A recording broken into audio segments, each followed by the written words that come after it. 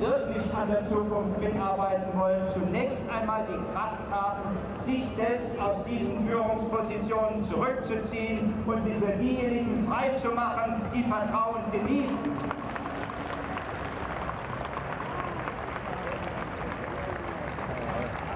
Und ich will, und ich will ausdrücklich sagen, wir sollten gerade an einem Tag wie heute sagen, wir machen euch.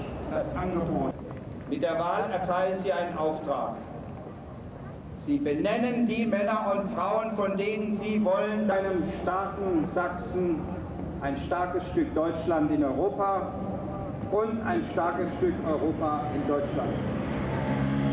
Alle daran mitwirken, dass dieses Deutschland blüht in seiner Einheit, in seiner Freiheit und im Recht seiner Verfassung.